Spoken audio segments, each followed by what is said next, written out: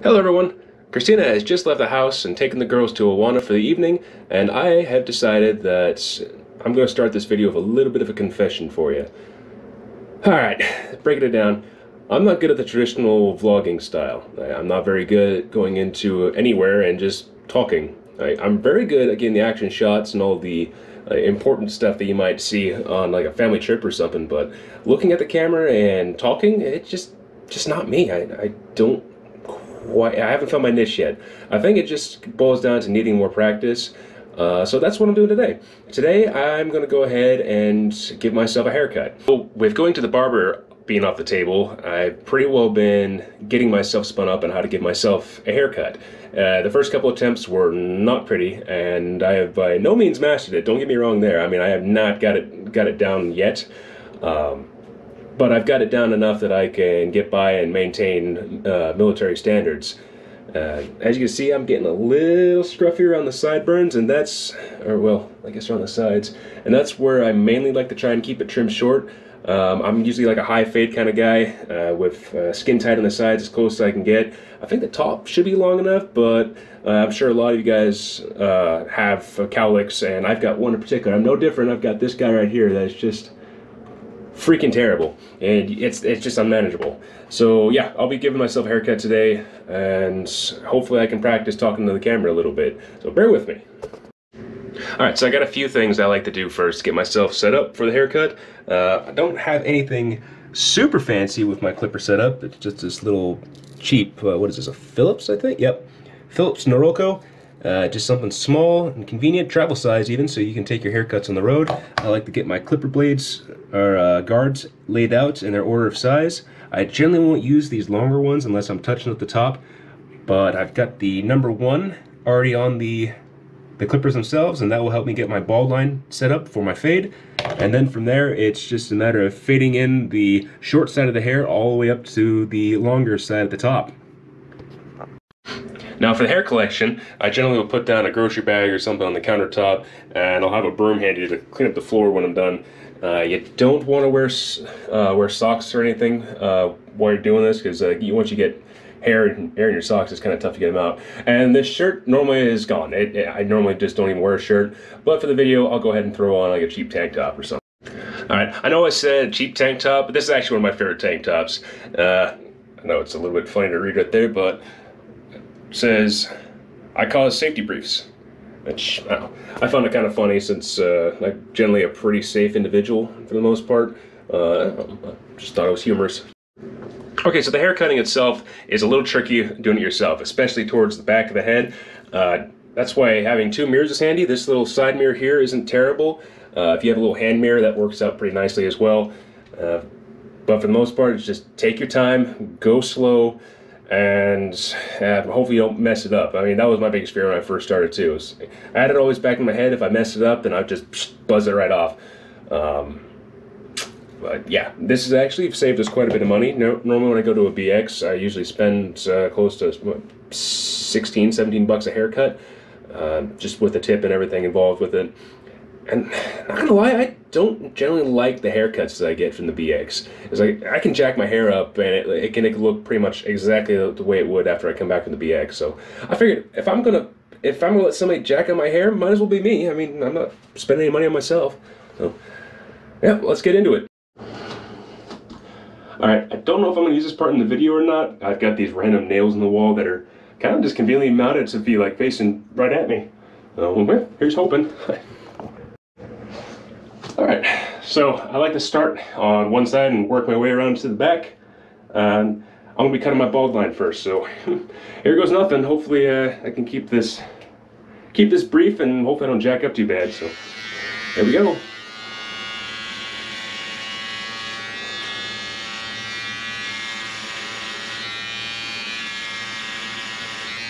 Yeah, and you just essentially just want to start at the bottom and work your way on up. Try to keep the line as even as possible. It may be a little tricky. But yeah, start, start small, work your way up. And definitely don't forget these little guard hairs you get around the uh, inside of the ear. That's, uh, they can be a little tricky and easily missed, and they'll bug the hell out of you later on if you do miss them.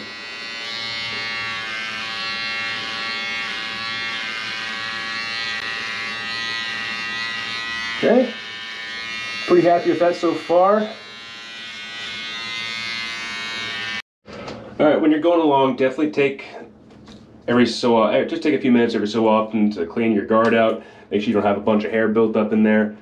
Uh, it'll keep the clippers from overheating and keep it cutting quickly. Uh, there are some maintenance steps you can use, but I definitely just make sure to refer back to the manufacturer's recommendations. That's kind of my go-to answer for a lot of things. If there's an owner's manual for it or like a little instructional manual, utilize that. I'm not going to give you any sort of tips and tricks on that one, and quite frankly, I lost my instructor's manual, so yeah, I probably just need to look it up online. So. All right, so far so good. Keeping it fairly straight around. The back's always going to be a bit of an issue, but you'll just have to utilize your two mirrors and clean it up as you go. I'm left-handed, so the left side is going to be super easy. Right side, I always struggle with, so uh, yeah, hope you enjoyed that part. Alright, so now you got your bald line cut, you're going to look a bit like a pencil eraser. You look around right in there. Let's figure out how to get this camera angled. Okay, so there's a little bit of evening up I can do on it, but for the most part, uh, pretty straight across, and that's the big thing to eyeball. Uh, Back of the head looks pretty okay. Yeah.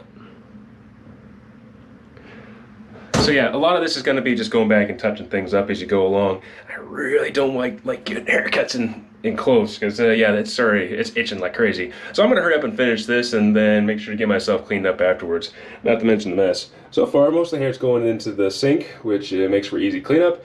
Uh, but like I said, throwing down a garbage bag or a, a grocery bag will uh, benefit you in the long run. Keeps you from getting hair in all the ugh, wrong places. All right, so from here I'm gonna go ahead and swap blades from the one millimeter. I'm going to skip the three millimeter and I'm gonna go, let's see, uh, you know what? I'm just going to go right to the 9, and that way I can work my way back with the 7 and then the 3 to help blend it all together. I think the 9's a good safe bet for how long my hair is up top. Alright, so we'll go to the 9, trim up the edges, and then we'll start blending. Alright, so with the 9 clipper yards, I'm just kind of going over the back and feeling my way along. If there's any long patches or anything like that close to the cowlick, I'll go ahead and just run them over them with the 9 and it's kind of just doing a real fine trim right now is the main thing. It's not not gonna I don't have to worry about it taking any major divots out of my hair or anything like that. This is not to be anything that's to be glaringly obvious obvious if I jack something up. That'll come in the next steps when I start blending it in. Okay so I'm getting a pretty good even even cut all the way around the back. I'm to leave the front a little longer and it doesn't look super obvious that it's a little longer in the front. I mean you can definitely tell in the light but ah, right about now, I, I'm, I feel like I'm starting to look like a werewolf, but man, I'm itchy. This, wearing this whole tank top thing kind of sucks when you're cutting your hair. So if you can, invest in the drape, or if, even if you use a plastic bag, you can drape it over your shoulders, but then you kind of limit your, uh, your range of motion of your arms. Uh, or better yet, find someone in your household to uh, cut the hair for you.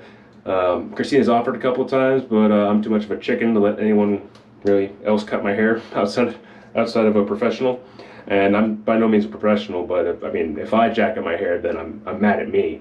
Uh, somebody that uh, I, I love that jacks my hair, then I don't want to be mad at them, and I don't like, yeah. Anyways, I don't like being mad. All right, so from here, I'm gonna go ahead and ditch the number nine blade, make sure that my clippers are nice and defluffed. So that's what mostly the number nine kicks off whenever I'm using it. It's a lot of really fine hairs. Uh, now I'll go to the number seven and start blending. And then I'll follow that up with the, oh no, wait, maybe. Yeah, I'll follow it up with the number three and blend a little further. I'll probably alternate back and forth between the seven and the three, depending on uh, how my hair's looking. So yeah, we'll just have to wait and see. A lot of this, like I said, I'm by no means a professional and I've only been doing this, well, all year, but I usually only cut my hair for maybe once or twice a month. So, yeah, well. Okay, so for now I'm just kind of feeling out the back, especially around that cowlick, and trimming it down with the number 7 blade, or I keep calling it a blade, it's a guard, it's number 7 guard. I'm just trying to find any long patches, I'll guide my hand across, and if I feel anything that's out of place, I'll run over with the clippers. So far, it's kind of blended up kind of nice. I'm going to have to double check my work, obviously. Clip a little bit, check my work. Alright, couple long patches. It's okay, I can I can fix those easily. All right, yep, check my work, get back into it, find the spots, yep, there they are right there. Watch this, I'm gonna sneeze and cut off a big chunk of hair. Nope, it's gone. No sneezing. If I was smart, I would have just turned off the clippers and let it pass, but no. So far, so good. Yeah, it's kind of got a, just a slight bevel right there, but nothing crazy. All right, yeah. All right, now we're gonna go ahead and move on to the number three blade, guard. I'll keep, uh, I'll keep blending. All right, so with the number three guard, it's got these, this angled ed edge right here. You wanna make sure to apply a, kind of a, a lift away technique whenever you're doing this. So when you get going, you wanna have it going, you're, you're cutting, you're cutting, and instead of like following the contours of your skull, you basically just wanna go straight up and against the edge of your bald line and into the longer hair. And this will start really blending it in. It's gonna look a little bit goofy when you're done, but if you give it a couple days to to grow out a little bit, it'll blend right up and it'll look like you went to the BX. Uh, or if you get really good at it, it'll look even better than going to the BX for a haircut. Okay. So the idea is you're just trying to get rid of that real abrupt edge between the short hair and the rest of your hairdo. Your do, if you will. Now going onto the back of the skull, you're going to be kind of just doing a little bit of guesswork. So cut a little bit, see how it's trimming, and then double check your work in the mirror.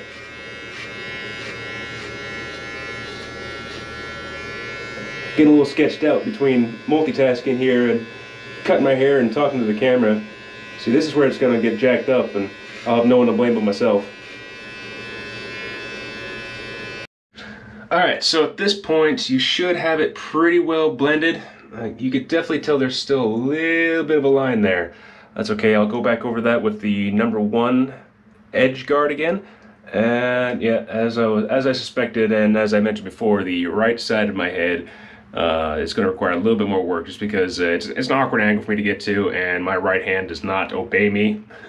like it's, it, it's got a mind of its own. It kind of, it, it has the dumb. It, it, it's a little bit on the dumb side. Uh, but yeah, I'm going to keep working at it. Uh, like I said, just take your time at this. Uh, don't try and rush it because that's when bad things happen. Uh, just like anything, yeah, just take your time. I would say enjoy the process, but this is this isn't a fun process. I mean, but hey, just think just think of the money you're saving. Alright, that should pretty well do it for the initial portion. Uh, what you want to do now is go ahead and get yourself cleaned up, uh, shower off, make sure to keep the hair in the area where you were trimming. Uh, definitely don't track it on the carpet or your spouse will murder you as mine would probably do so. Um, yeah, the hair is the big cleanup part. Is uh, getting hair slivers. It's like getting if you've ever had a fiberglass splinter. It's very similar to that. Like it takes a while to work out. You can't just take a pocket knife to one of these things and and uh, dig it out of your skin that way. It's gotta it's gotta work itself out, and it's not pleasant. Um, gosh, I got it all over my neck. Itchy stuff.